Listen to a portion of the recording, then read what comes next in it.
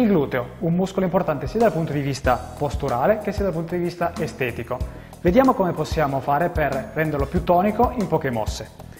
Il primo esercizio che andiamo a vedere è un fondo indietro, mani in appoggio su una superficie stabile, andiamo a effettuare un passo indietro, una ceduta, tenendo il peso sempre sulla gamba davanti, in questo modo.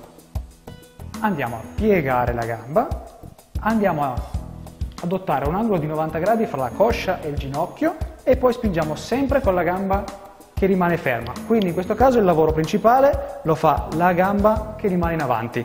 La gamba dietro ha solo una funzione di equilibrio. Appoggio il carico al 90% sulla gamba sinistra e ritorno su.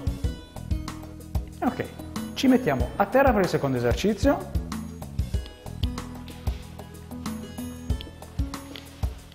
In posizione supina, braccia lungo i fianchi, testa e spalle rilassate, andiamo a effettuare una flessione della gamba portando i piedi in appoggio a terra alla distensiata larghezza dei fianchi.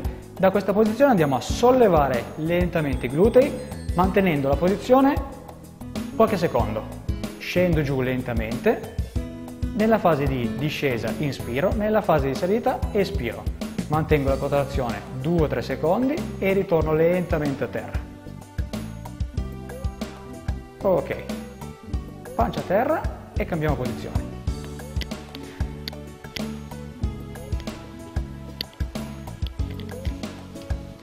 Ci mettiamo per il terzo esercizio proni, con le mani sotto la fronte per una posizione più comoda per la testa. Andiamo a lavorare con una piccola pallina che può essere sostituita comodamente da un cuscino a casa.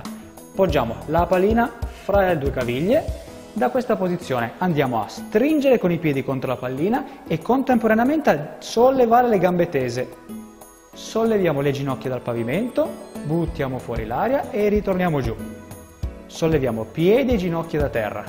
Piedi e ginocchia da terra, manteniamo 2-3 secondi la posizione e ritorniamo giù. In questo momento stiamo lavorando bene con tutta la fascia posteriore della coscia, sia con gli adduttori che con i glutei. Un movimento minimo come ampiezza ma massimo come lavoro e risultato.